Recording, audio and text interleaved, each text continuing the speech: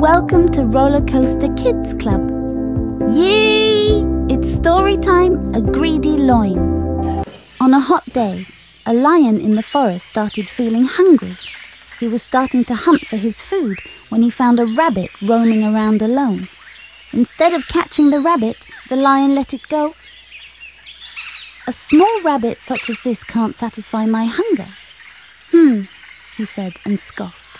Then a beautiful deer passed by, and he decided to take his chances. He ran and ran behind the deer, but since he was weak because of hunger, oh, I am tired. He struggled to keep up with the deer's speed. Tired and defeated, the lion went back to look for the hare to fill up his stomach for the time being, but it was gone. The lion was sad and remained hungry for a long time. We learn that wanting more and more, even when we have enough, is called greed.